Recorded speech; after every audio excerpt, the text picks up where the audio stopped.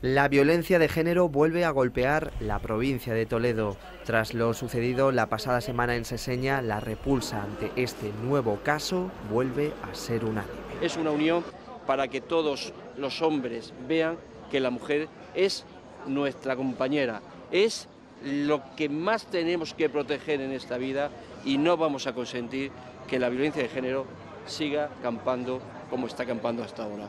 El Instituto de la Mujer se presentará como acusación popular en el caso. Vamos a elevar al Consejo de Gobierno la propuesta de que la Junta de Comunidades se persone como acción popular y como no puede ser de otra manera, se va a aprobar. La Junta se personará conforme marca nuestras leyes, la ley pionera en España de 2001, como acción popular, como una acusación popular. Los hechos ocurrieron ayer domingo alrededor de las seis y media de la tarde.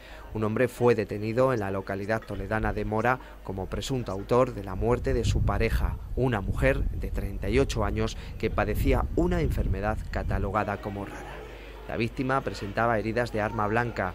Al lugar de los hechos se trasladaron Guardia Civil y Policía Local de Mora, así como medios sanitarios que no pudieron hacer nada por la vida de la víctima. El detenido no tenía antecedentes de ningún tipo y podría estar en tratamiento psiquiátrico una persona muy agradable, ¿no? Y, parece que tiene estos, estos problemas, con lo cual, bueno, no sé si estos problemas lo han llevado al otro, pero es verdad que, que, nadie lo podíamos imaginar.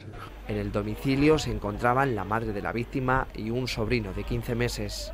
Y se había quedado allí la madre, la mujer, con un sobrino de, de 15 meses claro, la madre también no sabemos si por intentar defender a su hija o porque también intentaban agredirla a ella, pues también tenía la mano cortes o tenía alguna rotura en, en, la mano.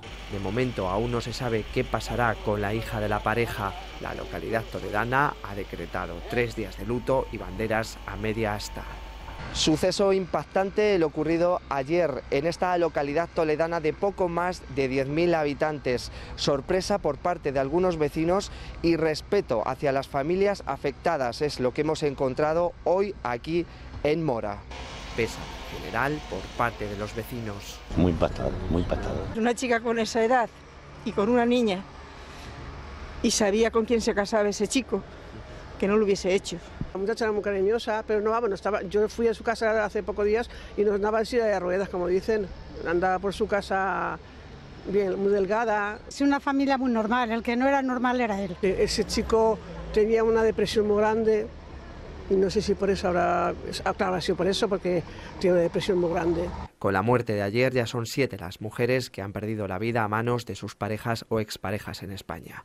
Frente a cualquier sospecha, recuerde que existe un teléfono gratuito que además no deja rastro en la factura telefónica.